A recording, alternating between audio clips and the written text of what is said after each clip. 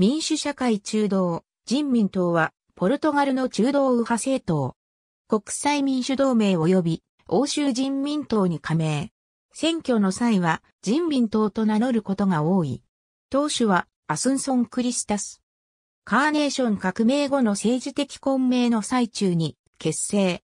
1975年1月25日に、ポルトのロザモタパビリオンにて、初の党大会を開催する。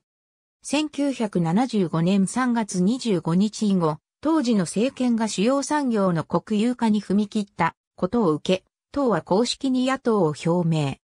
また、翌年4月2日には、社会主義色が濃い憲法の批准に16名の議員が、国内の政党で唯一反対票を投じており、同年の選挙で共産党を上回る42議席を獲得した。1979年には社会民主党及び人民君主党と中道右派政党連合民主同盟を結成。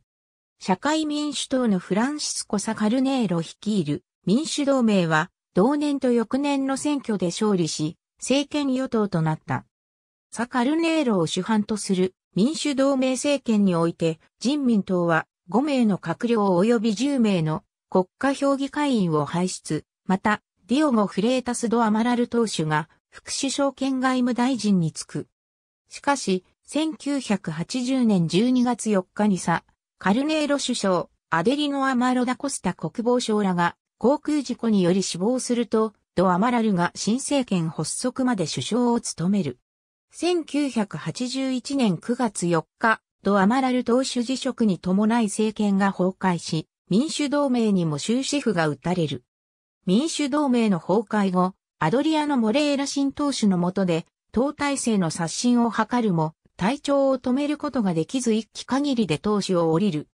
その後、ド・アマラルが党首に返り咲いてもこの傾向は変わらず、アニーバル・カバコ・シルバ率いる社会民主党の後陣を廃し、一時は4議席にまで交代。1992年にはド・アマラルが党を離れる。ド・アマラルの離党後の同年3月、第10回党大会にて、マヌエル・モンテーロが党首に選ばれ、翌年の臨時党大会で、スペインの同盟の政党を模範とすべく、党名に人民党が加わる。1995年の議会選挙で15議席を獲得し党勢が回復したものの、1997年の地方選挙で敗北を喫する。この結果を受け、モンテーロが党首を辞任し、ブラガで開かれた党大会にて、パウロ・ポルタスが党首に就任。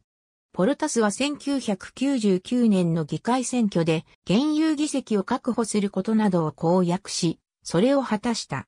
2001年の地方選挙と翌年の議会選挙で大敗後、社会党のアントニオ・グテーレス首相が辞任。一方、社会民主党が比較第一党となったことから、20年ぶりに人民党との連立政権が復活する。その際、人民党は3名の閣僚を輩出。2004年夏、ジョゼ・マヌエル・ドゥラン・バローゾ首相が辞職し、欧州委員会委員長となったのに伴い、ペドロ・サンタナ・ロペスを主犯とする新たな社会民主党、人民党連立政権が誕生。だが、ロペス首相は国民からの人気が今一つだったため4ヶ月で辞任。議会も解散し議会選挙へと突入する。